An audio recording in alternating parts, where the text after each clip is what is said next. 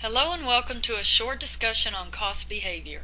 Cost behavior is generally described as fixed, variable, or mixed. After viewing this video, you will be able to describe the behavior of a variable cost, a fixed cost, and a mixed cost. You will also learn to use the high-low method to separate fixed and variable parts of a mixed cost. You will be able to describe discretionary, opportunity, committed, and sunk cost. Total variable costs change when volume changes. Making more products increases total variable cost. Making less products reduces total variable cost. The cost per unit does not change. Direct material and direct labor are always variable cost. Each time a unit of product is made, more direct materials and more direct labor is used. Variable costs are incurred when a unit of product is made or sold. A variable cost is the same for each unit made. In this example, direct labor cost of $2.10 each time a pillow is made. The quantity of pillows made multiplied by the variable cost per unit equals the total variable cost.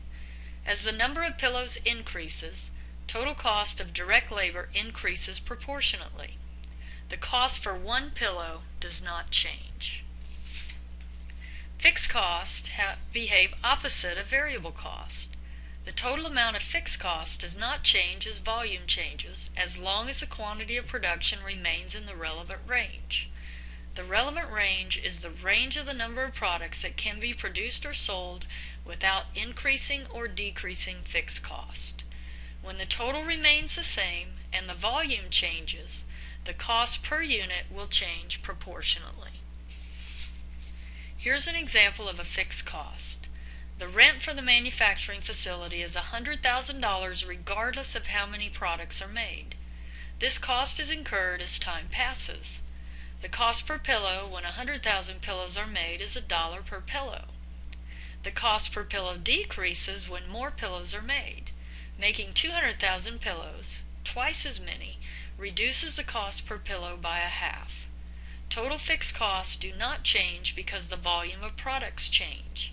This does not mean that a fixed cost will not be different than expected. It just means that the fixed cost will not change because volume changes.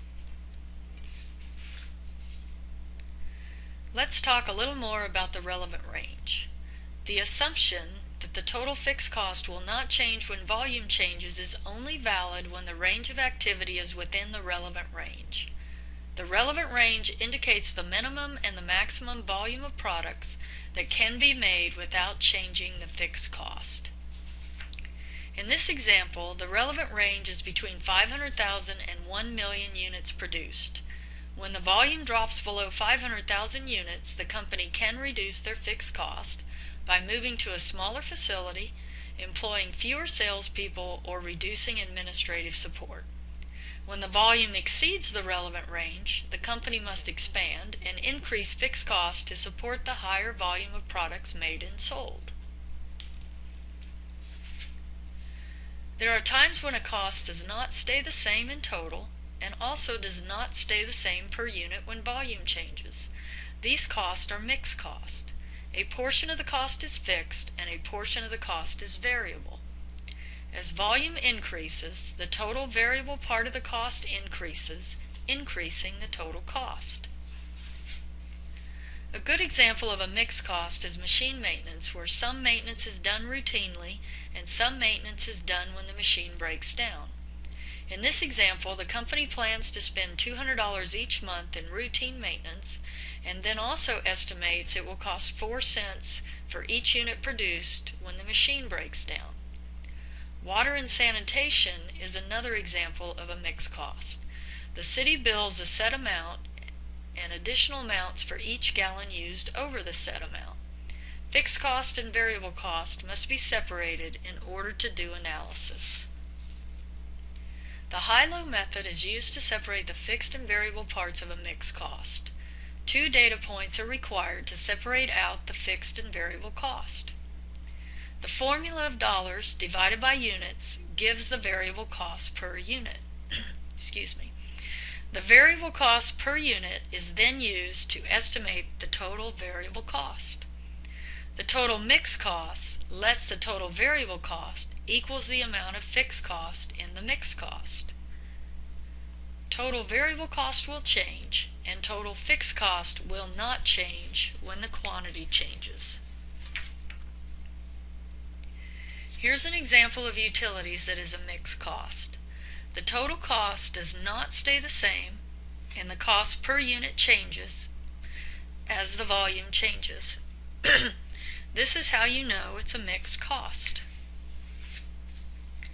The high-low formula will be used to compute the variable cost per unit.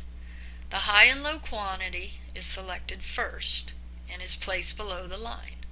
The dollars associated with the quantity in the same month is placed on top of the line. It is very important that you do not just select the highest and lowest dollar amounts. The high and low quantity and the amounts must be for the same months. The variable cost per unit is computed by the formula and this is used to compute the total variable cost. The cost per unit can either be multiplied by the high quantity or the low quantity, either one. You do not have to do both. This example shows you both so you can see that the fixed cost is the same when using the high or the low quantity. The computed total variable cost is subtracted from the total mixed cost to determine the fixed cost. A cost formula can be used to estimate the total mixed cost for any volume of activity. In this case, the total mix cost is expected to be $400 plus 20 cents for each unit produced. Let's spend a little time discussing other terminology used to describe cost. An opportunity cost is a situation where a decision is made and a benefit is not received. An opportunity cost is not really a cost. It is a revenue that is not earned because of a decision that is made. The name of an opportunity cost causes confusion. Just remember that it is revenue that is not earned because another approach is taken. A good example of an opportunity cost is a student going to college and the amount of money they could have earned they don't get because they attend college.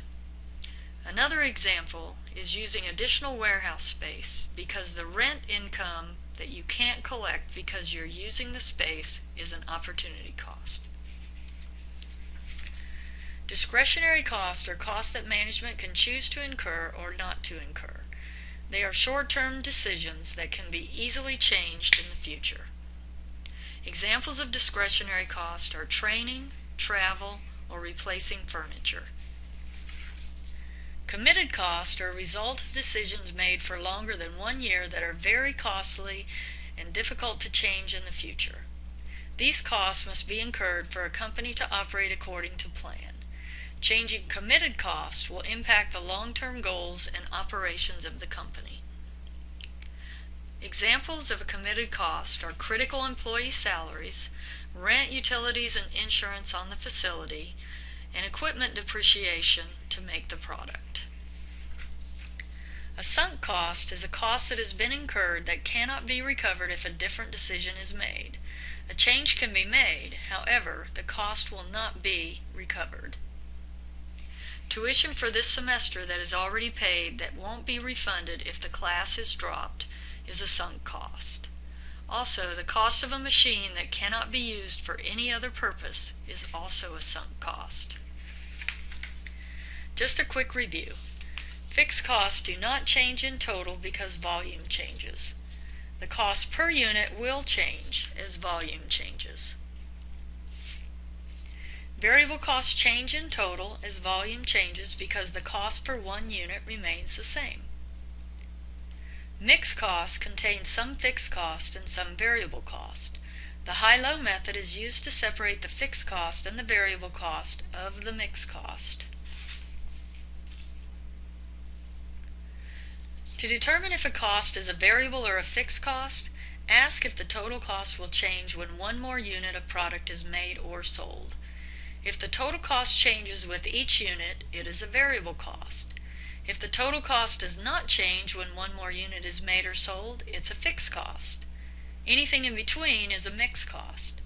Sometimes a mixed cost behaves mostly like a variable cost or a fixed cost.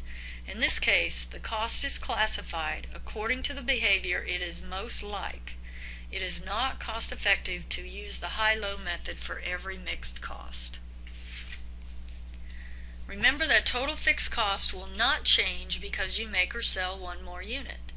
And total variable cost will change when you make or sell one more unit. Now that you have viewed this video, you should be able to describe the behavior of a variable cost, a fixed cost, and a mixed cost. You should be able to use the high-low method to separate fixed and variable parts of a mixed cost and describe discretionary, opportunity, committed, and sunk cost. Please log on to studymyaccounting.com. The practices you learn will give you examples in practice with each of the concepts discussed in this video. Work the practice test to verify your understanding. Write the answers out and check your answers to the answers provided. Please write it out. It will help you really get it. Thank you for being prepared for class. It is much appreciated.